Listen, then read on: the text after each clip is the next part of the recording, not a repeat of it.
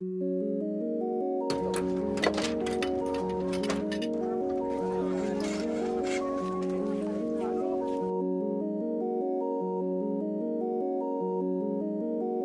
story we want to tell is about the origins of our, our product. The, how it was made really lovingly, almost like a mom, by Dr. Pemberton himself in 1986, using all the natural ingredients that were available at the time. Action! I'm playing a guy called John Stith Pemberton, who was uh, a doctor in, um, and was in the American Civil War. And through a process of elimination and fortune, he discovered a drink. And that drink and a special formula for this drink. And it was um, later branded as Coca-Cola.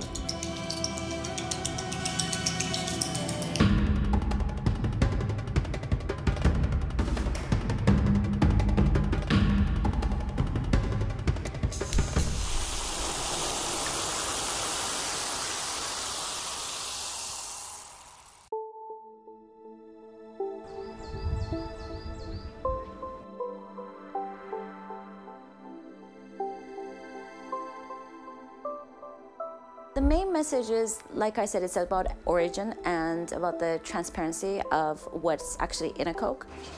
Rueda. We're setting a context of how natural and inspiring everything was at that time and how Dr. Pemberton was inspired to create this wonderful product using the familiar ingredients that existed in the time in 1885. This is a long shoot, by the way, for, for a, a, a commercial. I mean, normally a commercial's two days, three days. And this has been 12 days in all with costume, fittings, beard, everything like that. So it's been more like a short film. What is really lovely about it is that it's a very affectionate, a very intimate story. He comes across all these different scenarios to finally get his Coke into the laboratory and made and, and drunk and understood and um, patented, I guess. It drags you along and engages you as you learn how this wonderful product has become what it is. Pulsing contados, octavo. Action! And then not knowing what the product that he invented would become the greatest brand, the greatest product in the world. One morning in May 1886, John Pemberton came up with the idea of creating a refreshing drink.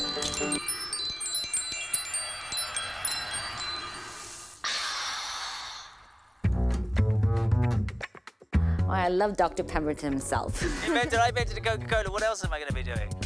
Drinking brandy and smoking lovely cigarettes. you know, he's excited to invent something so novel, and who knows if he was ever thinking that it would be like this in the year 2013. You know, that's very exciting. Just getting into this clobber and having a beard on and glasses and everything, obviously it changes you. I've had to jump in the water and jump out. I haven't done that, but the stunt guy has.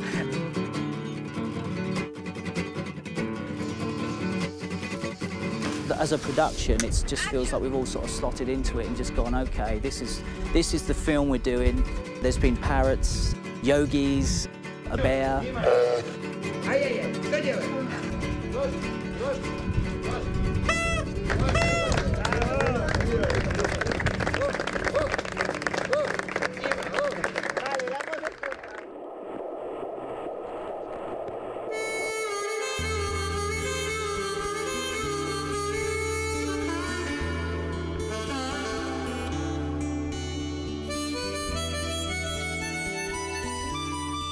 We're in the lovely area known as Almeria in southern Spain.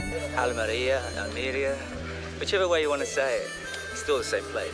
It's basically about rumors and how rumors can get spread in very interesting and uh, humorous ways. Carbonara water, sugar, caramel, and cinnamon pudding. Carbonara waffle, sugar, a mini caramel and... My character is basically this cheeky little boy who is he's carrying on about what Coca-Cola is made out of. What? What our product really contains versus what it doesn't contain. And he has heard what other people have said and he is passing it on to different people. And don't tell anyone else. Oh, no, no, no. Carbonated water, sugar, caramel, and I think he said crispy banana ring. The objective of the commercial is basically saying don't believe everything that you hear.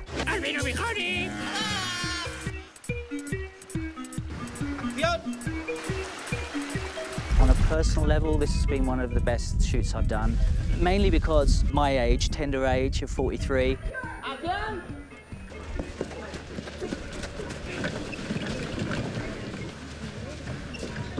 I mean, that's the question you get when you get home, isn't it? It's like, oh, where have you been? What are you doing? And then what you're really doing is you explain to them what you do, and when you get put on the spot, that you've got to um, produce something. For everybody, there's a pressure there. I just laugh because with every humor, there's an underlying message. And I like the balance of it. You laugh at it, but once you're done with it, you get the message. Um, I'm gonna go back and I'd like to see what people say. I might keep it a secret and see what people say when they see me on TV. That'd be nice.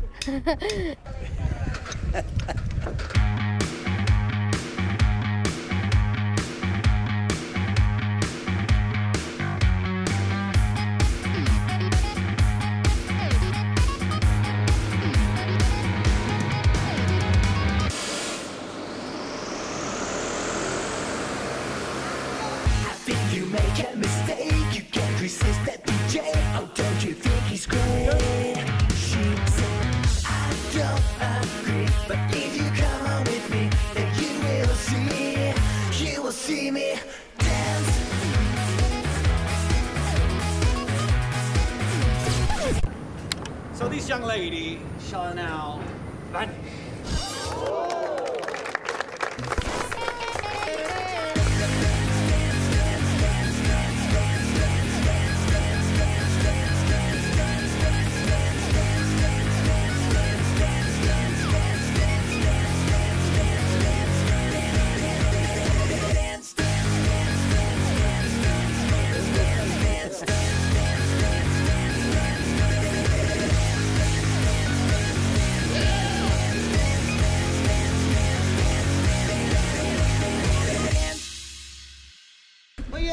Bien, volvemos a primera.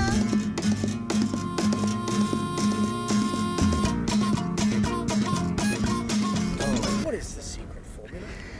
Uh, if I tell you the secret formula, I'd have to kill you, so I won't.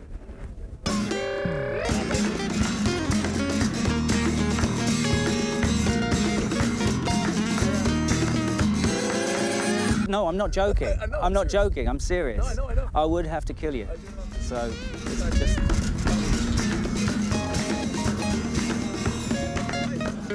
Último plano. Ultimo plano.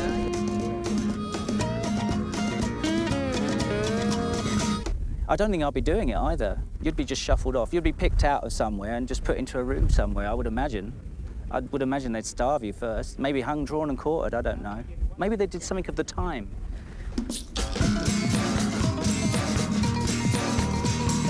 Con silencio.